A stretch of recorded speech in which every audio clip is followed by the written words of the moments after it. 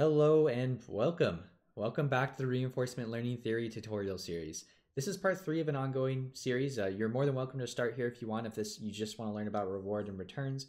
Uh, but if you're interested in the rest of it, it's going over general theory, why algorithms work, what's going on under the hood, the math behind it, the theory, the intuition. Definitely check out those videos. I'll have a playlist and such below. As we go into the video, if you like, hit the subscribe button. really means a lot. Uh, but so much for that. Uh, let, let's uh, that's enough of that. Uh, let's get into it. I hope you like my my little drawings. Um, I'm I'm not an artist, but I I've been trying my best for you guys. So uh, I hope you've been enjoying it. So rewards, rewards. They're really important, especially in reinforcement learning, where all our learning is you know based around rewards. So as we're jumping into this, let me go ahead and get rid of this so we have some space to work with. As we talk about rewards, the first thing we need to talk about are returns, which are the rewards from trajectories. And, and I guess first, right, we should define trajectories. So what is a trajectory? And it's actually fairly simple. Uh, remember back we were talking about uh, MDPs, Markov decision processes and environments and how we would simulate environments, right? So we had like a state space where we had a bunch of states, like state zero, state one, and uh, you know, it goes on. And then we had an action space where we could have action one, action two, action three. These are all different actions we could take.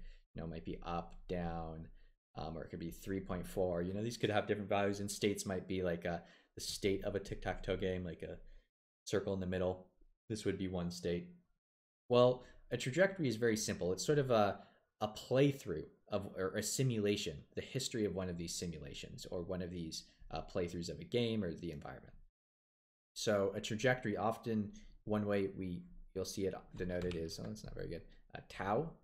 My tau is very bad, as you can see. I've not practiced drawing tau. Maybe if I make it a little bit. Okay, I'll, I'll take it. I'll take it. So tau, it's a little t thing. Um, and tau is, is short for trajectory, um, kind of. anyway, uh, this will equal. Generally, the way this is represented is it's a state, and then the following action that was taken in that state, the resulting state, the action that was taken in that state, then the next state, action taken in that state, and, and you can see where this is going, right? And this goes until the end of a simulation. And a simulation, right, one full go through of the simulation, that is what a trajectory is. And this is sort of the history of it, right? The states and actions specifically. Cool. So not too hard, right? Um, trajectories. So let me write that out. Trajectory. You'll also very commonly hear um, rollouts, oh, rollouts, and the last thing you'll probably hear, maybe you'll hear more, but uh, is uh, an episode. An episode, I think, is what's most common. Uh, it's at least what I use most frequently. But you know, you'll you'll hear all these kind of interchangeably, and they all roughly mean the same thing. So that's what a trajectory or like an episode is. Uh, so what about this term I mentioned before, a return, right? Um, and a return, this is actually fairly simple. We, we have the idea of rewards, right? Like uh, a reward uh, could be positive for something good, negative for something bad, or maybe doesn't have to be negative, but just smaller than what you would get for uh, something good happening. Uh, so the return is sort of the cumulative reward throughout a trajectory, right? So let's say we're playing tic-tac-toe um, and we have we end up in this, right? X, X, X, O, O. Uh, let's say we end up with a state like this. X's win. So if we were X's, and this is like uh, three turns long, right? Maybe our first reward, uh, our rewards. Maybe at first we get a zero uh, for this first one because it's not doing anything. Then we get another zero because it's not doing anything. But then we put our third X here, and well, what do you know? We won the game. So maybe we get one reward for that. So these would be our three rewards for the game. So in this case, one way we could calculate the return would be 0 plus 0 plus 1 equals a 1 return. This is one way to calculate returns, and this is what's referred to as a finite horizon. Horizon. Uh, undiscounted. Undiscounted return. And let me make some more space for us. Oh, it took me so long to draw this present. it's so bad though. uh, anyway, we have more space to work with now. So that's an undiscounted return. Um, why is it discounted? undiscounted, what that essentially means is that no matter how far after uh, or how far away this reward is, right? We um, it's always counted as one. Uh, whereas with it, sorry, not as one, it's always counted no matter when it happened, so long as it happened after the current time. Um, and we're talking when we're talking about returns, we're talking about the the whole course of this, right? Um, but oftentimes we'll be talking about rewards from a certain state. So say from the second state. So the cumulative return coming from uh, the second state, everything after this would also be one. I mean the same for the third state.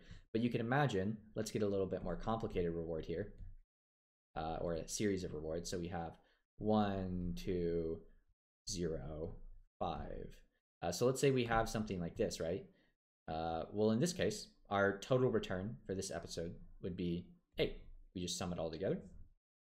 Okay, um, but what if we're in this state right here? If we are in state, uh, we'll call this state zero, one, two, three. Uh, so if we're in state two, well, what's our return for coming from state two? And sometimes this is called the, the value, uh, or it's always called the value. Um, well, it's five, right? Only five, because we're not going to get the one and two that already happened. We're not thinking about the past at this point. Uh, so we'll move on to the value uh, in the future, but I mention this right now because it kind of makes sense to mention this with undiscounted and discounted returns because now I want to tell you what a discounted return is. Uh, a discounted return is specifically uh, in what is it? This was a finite horizon. So next is an infinite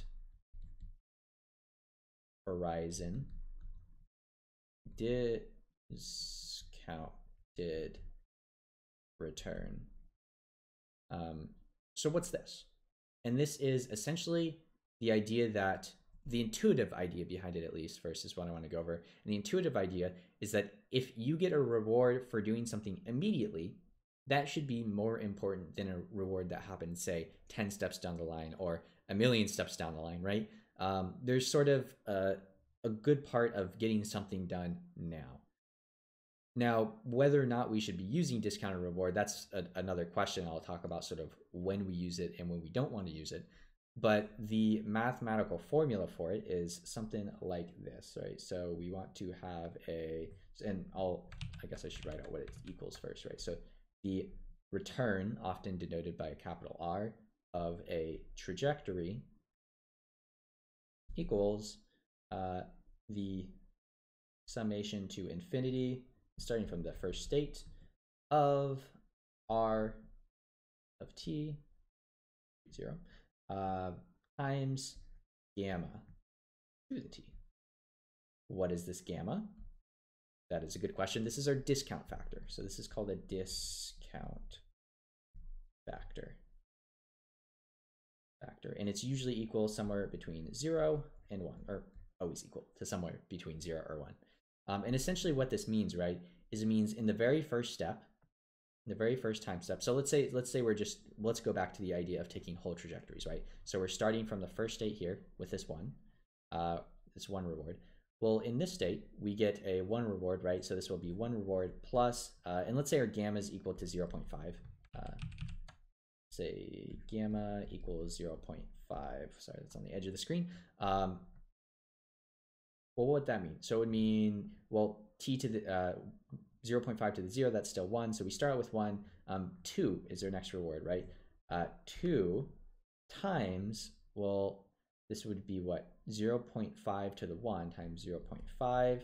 Um, so this gives us 1 plus 1 plus, uh, well, this is a 0 uh, plus, uh, and then finally 5. So it's 5 times gamma is 0.5 to the 0, 1, 2, 3 what would this be? That'd be, I think, uh, 5 times 0 0.125, uh, which I don't know what that is. Or I guess it would be uh, like 0 0.6 something, um, I think, if I'm doing my math right. Uh, yeah. So essentially what I want to show you, right, is at the very first state here, we have the full reward. The full reward was 1. We're counting it fully. Um, but as we go down and as time progresses, well, by the end here, even though there's a 5 reward at the end, it's only being counted for 0.6. So essentially, the higher gamma is, the less important things in the future become, and the more we prioritize things now. That's sort of the intuitive meaning behind this. So comparatively, uh, if we want to, and I'm gonna, oh gosh, what should I erase? I'm gonna erase some of this because we need more space. Uh, oh no, why does it keep doing that? I need to fix that. Um, anyway, so finite horizon undiscounted returns, right? Um, and, and this is also where the infinite and the finite comes in, right? Uh, infinite, as in this can go on for infinity and it will still converge because of the fact that we have this gamma term here. And, you know, even if we go for infinity down the line, well, eventually gamma will get so small that all rewards are just negated. Um, whereas for finite, uh, you know, we can only deal with a finite amount of space. Um, and this, this is really in terms of mathematical, like, uh, algorithms we come up with down the line. For finite, uh, or for undiscounted returns, we can't really handle, you know, infinite series. Uh, things just get a bit wacky with the math. Maybe we'll get more into that when we get into specific algorithms. Um, but for now, the, the reason we do this can be infinite uh, is it, it, just ends up being more mathematically convenient. Um, so the equation that I was going to mention for finite horizon is the return, uh, sorry, of the trajectory for uh, finite um, equals, I guess it would be t equals 0 to capital T. So this is some point in the future um, of R of t. Very simple, right? Uh, so it's essentially just a summation over all the reward over the next t steps. So the only difference here really is the infinite versus the finite uh, and the gamma versus the no gamma or no scaling. Cool. So, you know, it's it's not too complicated. Um, I think the intuition behind it makes a fair bit of sense. Generally, we do want to prioritize things immediately a bit more, um, though things in the future are important too. Well, the value of gamma sort of lets us decide how much we want to balance this. So one question you're probably asking is, well, what value should I use for gamma? What's what's normal? And it, the answer is it depends. It depends on the environment, uh, but there have been lots of studies that show gamma usually around the range of oh gosh, I'm running out of room again. Um, let's just delete this example right here. Um, usually, so usually it's, it's always within the range of 0 to 1, uh, but usually within the range of 0 0.95 and 0 0.99 are probably what you'll see most frequently. Uh, and I hope that's big enough. I can rewrite it just in case. Um, but 0 0.95 and 0 0.99 are the most frequent. Um, so you can see these still do uh, value actions in the future quite a bit. Uh, we don't want to completely disregard them because they are very important. Uh, but yeah, that, that's what you'll usually see.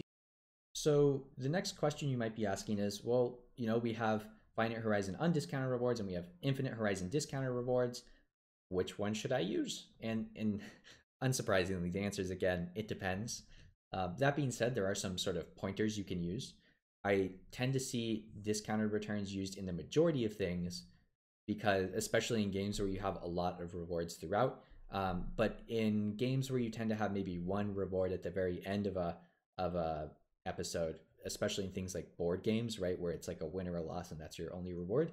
Uh, finite horizon rewards tend to be used there more often. So like you'd probably see this in like use if you're using chess or Go.